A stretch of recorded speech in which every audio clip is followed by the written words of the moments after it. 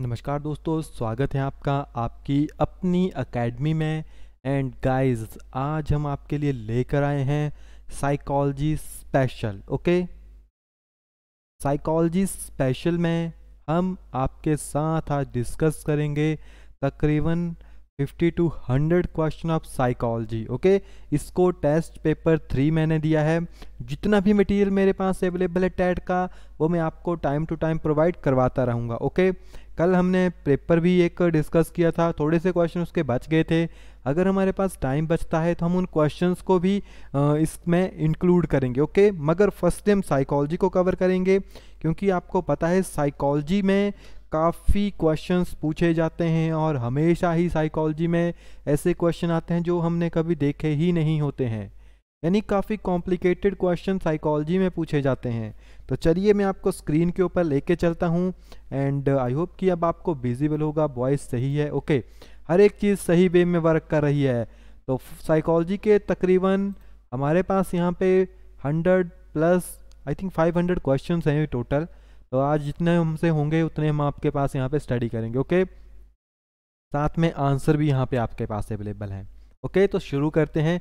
Firstly जो हमारे पास question आता है at which site the mind and the body interact in the brain यानी वो कौन सी साइट है जिसमें माइंड एंड बॉडी जो है वो इंटरेक्ट करता है आपस में? तो हमारे पास यहाँ पे ऑप्शन है ओके तो हमारे पास ऑप्शन नंबर ए जो है इसका आपके पास यहाँ पे राइट आंसर है ओके पाइनल ग्लैंड थोड़े बायोलॉजी से रिलेटेड क्वेश्चन है तो अगर आपको कहीं पे लगता है कि ये क्वेश्चन गलत है तो आप हमें कंफर्म कर दीजिए ओके क्योंकि हमारी बायो से रिलेटेड स्ट्रीम नहीं है तो बीच में कुछ ऐसे क्वेश्चन होते हैं जो कि बायो से रिलेटेड होते हैं, या समटाइम कुछ मिस्टेक हो जाती है तो आप हमें कमेंट करके बता दीजिएगा। नेक्स्ट वीडियो में हम उसको आपके लिए सही कर देंगे ओके नेक्स्ट हमारे पास who discover the chemical basis of neurotransmission तो who discover the chemical basis of neurotransmission तो इसका राइट right आंसर क्या होगा आपके पास? Option number D ओको। Okay? Otto Loewi okay? Option number D जो आपके पास यहाँ पे राइट right आंसर है। नेक्स्ट है हमारे पास human C N S is compose of तो ह्यूमन सी एस जो है आपके पास, वो कंपोज होता है ब्रेन एंड स्पाइनल कॉर्ड के बीच में। नेक्स्ट हमारे पास the link between the nervous system and the endocrine system is due to the presence of जो आपके हमारी बॉडी में लिंक होता है नर्वस सिस्टम में एंड एंडोक्राइन सिस्टम में वो किसकी वजह से हमारे पास होता है? तो हमारे पास ऑप्शन नंबर डी जो है इसका आपके पास राइट आंसर है ओके देखिए कुछ बायो से रिलेटेड क्वेश्चन है मगर कुछ क्वेश्चन ऐसे एग्ज़ाम में आ जाते हैं okay in neurons, the axons are insulated by the matter. Name as तो उसका राइट आंसर क्या है हमारे पास? Option number B okay next हमारे पास the term of soma is related to जो सोमा टर्म है आपके पास, वो किस चीज़ से रिलेटेड है? वो हमारे पास रिलेटेड है सेल बॉडी से ओके okay? किस चीज़ से रिलेटेड है? सेल बॉडी से. नेक्स्ट हमारे पास melatonin is produce by which gland तो मेलाटोनिन है आपके पास? वो कौन से ग्लैंड से जो है वो प्रोड्यूस होता है? तो इसका राइट आंसर है हमारे पास option number C okay pineal gland next है हमारे पास the goal of social cognitive theory is basically तो आपके पास सोशल कोग्नेटिव थ्योरी का क्या गोल है हमारे पास? उसका गोल है आपके पास self regulation option number B जो आपके पास इसका राइट right आंसर है नेक्स्ट हमारे पास social learning theory was develop by तो सोशल लर्निंग थ्योरी जो है, वो किसके द्वारा दी गई थी? तो Albert Bandura okay Albert Bandura के थ्रू जो है वो आपके पास यहाँ पे दी गई थी। नेक्स्ट हमारे पास Bandura social cognitive theory is based on which perspective तो सोशल थ्योरी जो थी कोग्नेटिव की, बंडूरा की, वो कौन से प्रस्पेक्टिव के ऊपर वर्क करती थी? वो बेस्ड थी आपके पास एजेंटिक ए जो है आपका यहाँ पे राइट आंसर है।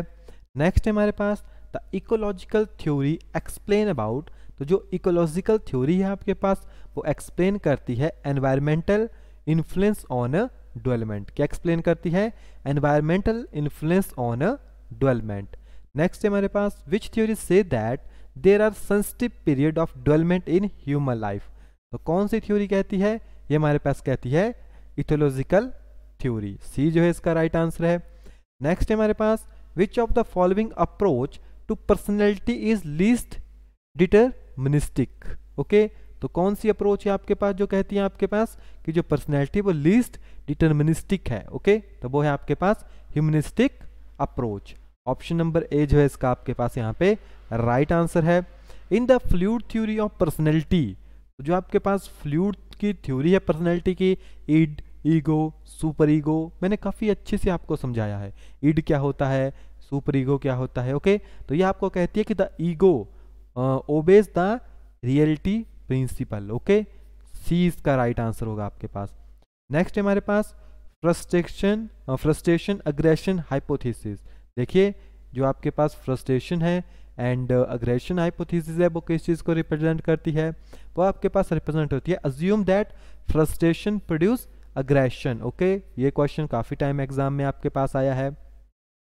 नेक्स्ट है हमारे पास द जेम्स लैंग और body reaction theory of emotion set आपके पास जो जेम्स लेंगी और बॉडी रिएक्शन थ्योरी है इमोशन से रिलेटेड वो आपको क्या रिप्रेजेंट करती है? तो वो आपको यहाँ पे रिप्रेजेंट करती है। You react with your body first then your feeling okay तो ये आपको कहती है।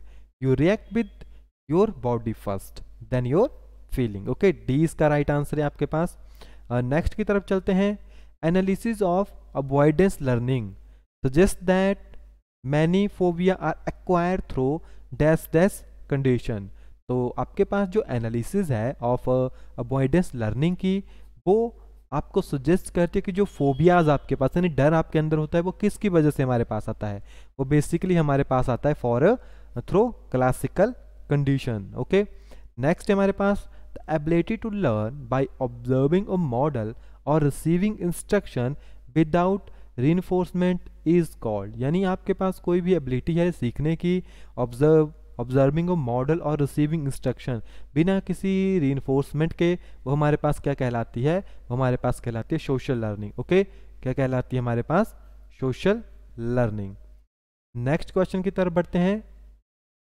Condition response may be eliminated by withdrawing री ओके जो भी आपके पास कंडीशनिंग uh, रिस्पॉन्स है उसको एलिमिनेट किया जा सकता है विड्रॉइंग री दिस इज़ नोन एज उसे हम क्या कहते हैं? उसे कहते हैं excitation okay extinction okay extinction next है हमारे पास any stimulus that follow a behaviour and increase the likelihood that the behaviour will be repeated is called यानी आपके पास स्टिमुलस यानी उद्दीपन any stimulus that follow a behaviour and increase the likelihood that the behaviour will be repeat is called उसे हम कहते हैं री ओके नेक्स्ट हमारे पास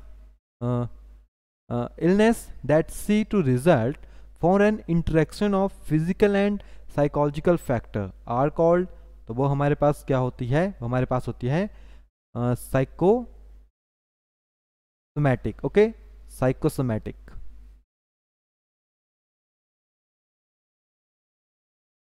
नेक्स्ट हमारे पास which of the following clinical procedure are based in part of classical conditioning यानी आपके पास कौन सा पार्ट है, या which of the following clinical process या clinical procedure are based in part of part on classical conditioning वो है आपके पास systematic desensitization okay and guys काफ़ी कॉम्प्लिकेटेड क्वेश्चन है। हमारे पास सेट अवेलेबल है तो इसलिए हम आपको प्रोवाइड इसको करवा रहे हैं ओके एंड आपको किसी भी बुक्स में नहीं मिलेंगे। ये डायरेक्टली इंटरनेट से उठाए जाते हैं और एग्ज़ाम में आपको आ जाते हैं ओके किसी भी बुक में आपको क्वेश्चन नहीं मिलेंगे। When people are dash dash they have lost touch with reality when people are psychotic then they have lost touch with reality okay C इसका राइट आंसर है आपके पास। नेक्स्ट है हमारे पास intelligence can be define as जो आपके पास intelligence है, उसको हम किस तरह से डिफाइन कर सकते हैं? तो आप देख सकते हैं इंटेलिजेंस यानी the ability to think abstractly and learn for experience okay D जो है उसका आपके पास राइट right आंसर है। तो तो कॉमन क्वेश्चन है हमारे पास। नेक्स्ट है हमारे पास according to प्याजे the process of building mental representation of the world through direct interaction with it is तो ये किसके साथ है आपके पास? इसे वो कहता है अडेप्टेशन ओके okay? ये काफ़ी कॉमन टर्म है। People who consistently come up with explain of event are more prone to depress यानी यहाँ पे ऑप्शन नंबर कौन सा फिल होगा आपके पास यहाँ पे ऑप्शन नंबर सी ओके देखिए, इन क्वेश्चन को नोट कर लीजिएगा, क्योंकि अगर डायरेक्टली ये क्वेश्चन आएँगे तो इनमें ना कुछ समझने वाली टर्म है, ना कुछ अदर टर्म्स है। डायरेक्टली मैं कहूँ तो रट्टा मारने वाली टर्म है, आपको याद हो जाएँगे क्वेश्चन से okay the leading cause of mental retardation is believe to be तो leading cause of mental retardation किसके ऊपर बिलीव करती है? वो आपके पास एनवायरमेंटल फैक्टर्स के ऊपर डिपेंड करती है ओके बी आपके पास इसका राइट आंसर है।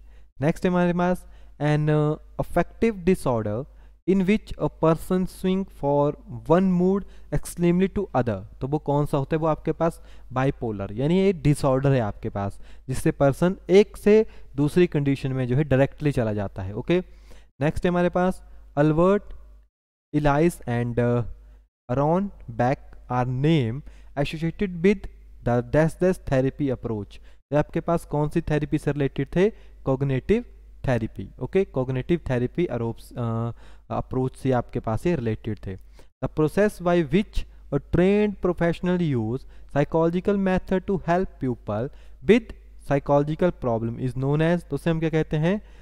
साइकोथेरेपी ओके साइकोथेरेपी नेक्स्ट है हमारे पास basic character of characteristic of task that result in social loading is या loafing is that they are addictive negative subjective या मल्टीप्लिकेटिव तो ये आपके पास addictive okay basic character of task that result in social loafing is that they are addictive next हमारे पास job satisfaction is enhance by task that are तो वो आपके पास challenge but not overwhelming okay next हमारे पास प्याज state for infancy is तो प्याजे की जो स्टेट है इन्फेंसी में वो है आपके पास sensory motor thoughts next question है हमारे पास when a researcher test several groups of people at the same time each group at a different age he is conducting test test